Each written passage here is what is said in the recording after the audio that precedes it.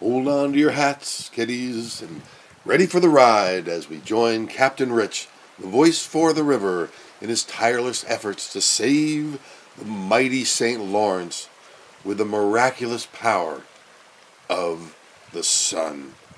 So God bless America and get ready to rock. Here we go, Captain. Okay, Captain Rich, what happened? Hey, Yeah. that's why you wear gloves, folks.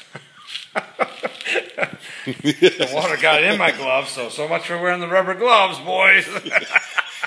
We're going back at it though.